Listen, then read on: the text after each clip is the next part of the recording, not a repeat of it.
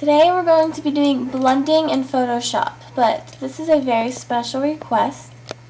It was from my friend, kind of, sort of, friend-ish thing, person. Anyways, so this is going to be a very, like, easy way of doing blends, and we're going to be doing this blend today. Right. Okay. So, get out the pictures open.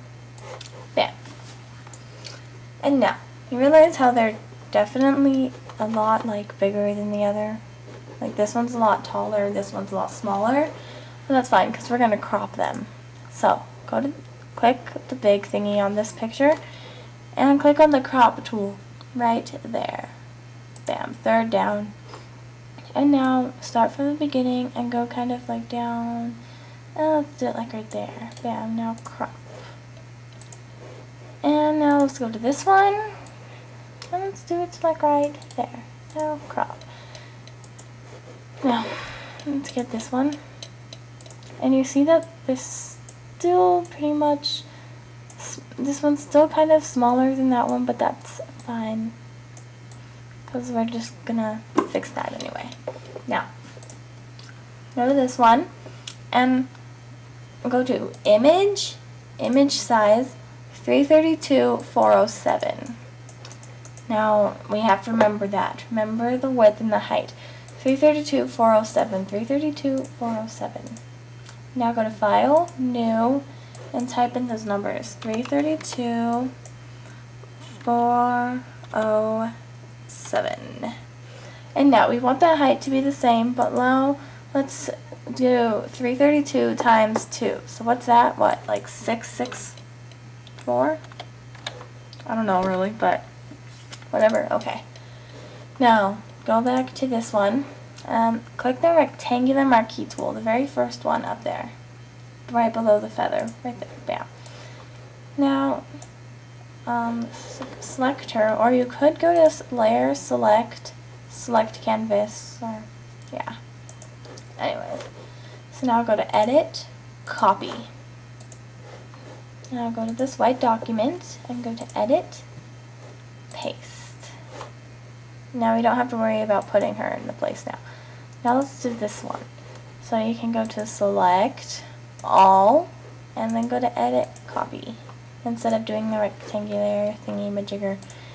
And now go to edit, paste her on there. Okay. So, right, so um, the reason I can drag this is because I click the F tool. When it's like this, or whatever, click, just go to your keyboard and click F one time. And now you can drag it wherever. I like this option a lot better because, yeah. Anyways, so now um, click on your layer 1, not the background. Go to Edit, Free Transform and bring it over here. Yeah. And now click on anything on your sidebar and go to layer 2, edit, free transform, and put it like over here a little. Down, like right there. Now click shift on your keyboard and bring that up a little if it doesn't like work. Now I know she's a little pixelated, but we're going to fix that. Anyway, apply the transformation. And now you can just kind of start erasing, you know. It's a lot better to get pictures that, you know, like aren't two different colors. But since this one's a lot darker than this one, then like it's a lot harder. But I'm just going to completely go around her, but I'm doing it really crappy, so just in a hurry, like seriously. So yours is hopefully going to look a lot better. Right. Bam. And now let's go to the crop tool again and just like crop it right there. And crop. And now, you see how right there it's darker than right there? Let's go to your polygon tool. Or it might be on your lasso tool, so you right click on it and go to the polygon tool. It kind of looks like a, it's the one below the lasso tool and it says polygon lasso tool down and now let's just kind of select around that. Right, and bam.